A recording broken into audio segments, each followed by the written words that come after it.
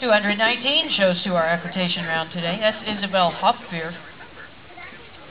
What's she wearing around her arm?